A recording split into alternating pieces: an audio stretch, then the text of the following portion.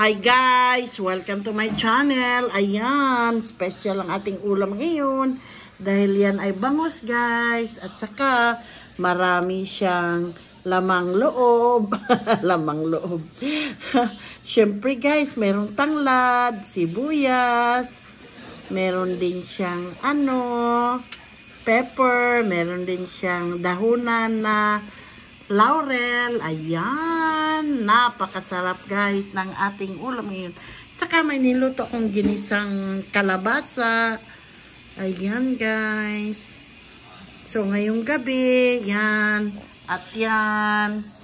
At tatlong kutsara na kanin. yan ang ating ulam ngayon guys. So, sana guys, Sana'y mabusog ko kayo. Happy, happy, happy evening. It's Friday night. God bless us all. Hit the like, subscribe button. And don't forget to make positive comments. Ayan, guys. Okay, guys. Bye-bye.